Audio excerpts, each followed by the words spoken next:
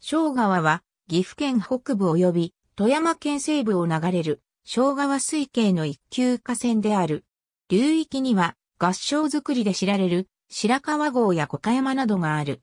古称は、有上川で、谷口付近の砺波市小川町の八伏山麓にある、オス神神社にちなむものとされている。神社付近の地域を、有心の小と呼んでいたことから、そこを流れる河川そのものが、有心の小川と呼ばれ、後、有心が取れて、小川という名前になった。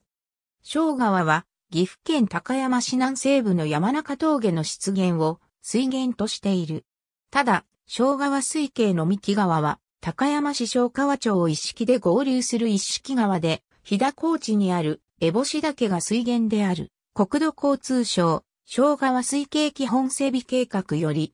厳密に言えば、鷲ヶ岳と烏帽子岳の間の谷が水源である。一式川と合流した小川は、高山市小川町牧戸で三たらし川と合流し、三幌湖から白川村を経て北上し、富山県に入る。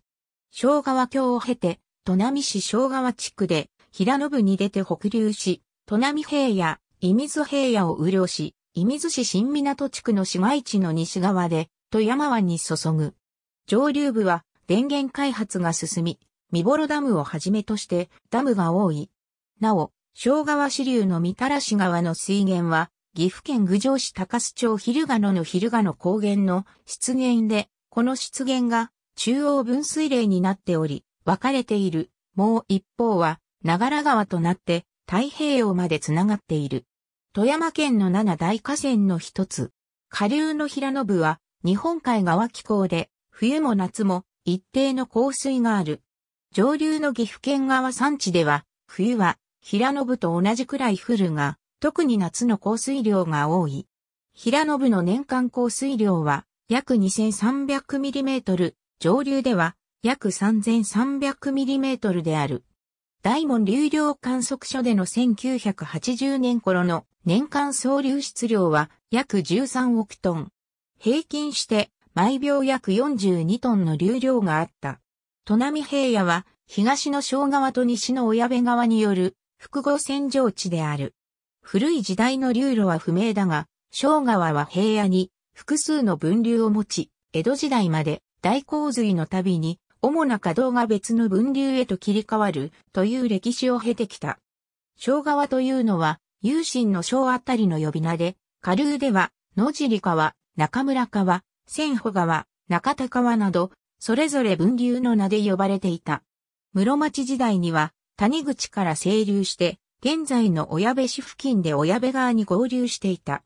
この合流点以降を射水川と言った。砺波平野の西側をめぐる流路である。1586年の天正地震の際には、富山湾で津波が発生。遡上した津波により、小川流域での被害が多かった。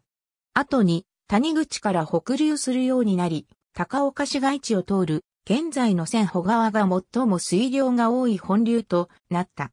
現在の小川の流れは、分流の一つの中田川であった。1654年、随流時の寺地を千穂川が削ったのを受けて、加賀藩主の前田利常が千穂川の水を中田川へ移すことを命じたが、小川左岸地域の住民の反対によって、すぐには実施されなかった。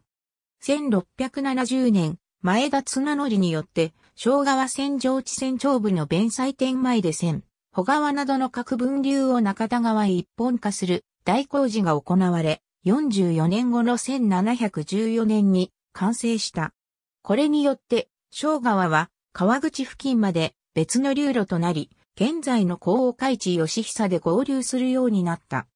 1897年には本格的な改修に着手し、1900年から1912年までにかけて現在の射水市川口から直に富山湾へ流れるように工事が行われ、親部川と流路が完全に分けられた。親部川の支流の軸子川及び高尾海地吉久の貯木場が昔の小川の名残である。岐阜県高山市、郡上市、大野郡白川村富山県南砺市、砺波市、高岡市、射水市、富山市岐阜県内の小川流域は、白川郷と富山県の山間部の小川流域と戸川流域は五箇山と呼ばれる。